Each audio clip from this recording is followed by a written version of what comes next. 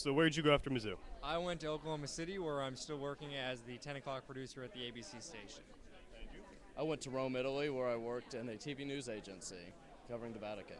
No kidding. And my second question is, what lessons do you wish to share with others? Are we still rolling? What lessons do you wish to share with others?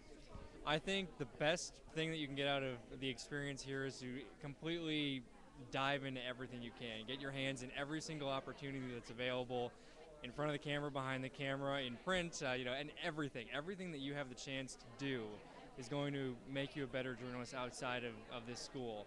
And to be able to go and do something that's not in your job description, but you know is going to help make your newsroom or whatever environment you go into a stronger place is really going to give you an edge. It's great. I agree completely. You just do everything you can because the job descriptions in this industry are constantly changing. You never know when you'll have to pick up an additional role. And if you already have that experience and can do it, then you already have a leg up on everyone else. And any fond memories from Missouri? Uh, uh, there were some great times, long hours in edit bays at KOMU. Uh, on the other side, running live trucks and, and uh, running around like crazy people to get the shows on the air. But it all looked good, and uh, I'd never trade any of those memories for a moment. KOMU was always a good memory. Not always a good memory, but there are a lot of good memories out of KOMU. A lot of hard work, but it paid off. And also going down to Jefferson City, working out of the state capitol, was quite an experience.